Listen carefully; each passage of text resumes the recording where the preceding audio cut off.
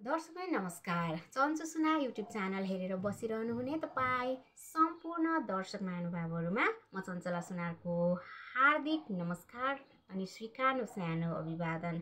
सदा चाहिँ विभिन्न विषयवस्तुहरूलाई प्रस्तुत गर्ने क्रममा आज पनि मैले एउटा विशेष प्रस्तुति लिएर आएको छु र आजको विशेष प्रस्तुति भनेको पृथ्वी दिवस।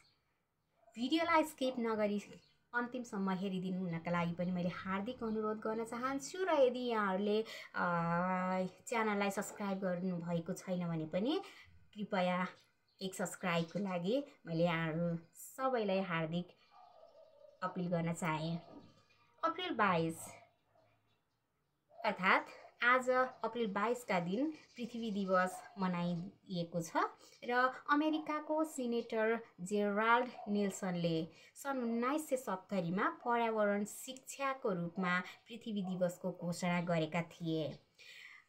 र अहिले एक सय बयानब्बेभन्दा बढी देशहरूमा पृथ्वी दिवस मनाइँदै आइरहेको छ।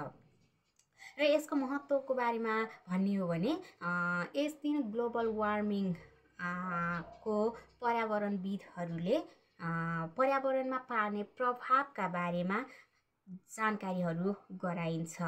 विशेष गरेर पर्यावरण शिक्षा जनसमुदायसम्म प्रचार प्रसार गर्ने उद्देश्यका साथ यो दिवस मनाइँदै आइएको छ र एक सय बयानब्बेभन्दा बढी देशहरूमा जसले वातावरण अर्थात् पर्यावरणसँग सम्बन्धित रहेर काम गरेका छन्। पर्यावरणसँग सम्बन्धित सरोकारवालाहरू त्यस्तै गरेर पर्यावरणसँग सम्बन्धित सङ्घ संस्थाहरू र त्यस्तै गरेर पर्यावरणसँग सम्बन्धित निकायहरूले पृथ्वी दिवस मनाउँदै आइएको छ। र नेपालमा पनि कुरा गर्ने हो भने नेपालको पर्यावरणसँग सम्बन्धित वातावरणसँग सम्बन्धित सरकारवालाहरू त्यस्तै गरेर सङ्घ संस्थाहरूले विभिन्न स्थानहरूमा कार्यक्रमहरू गरेर यस पृथ्वी दिवस मनाइएको छ। यति भन्दै आजको यस पृथ्वी दिवस को बारेमा मैले यहाँहरूलाई छोटो जानकारी गराएँ र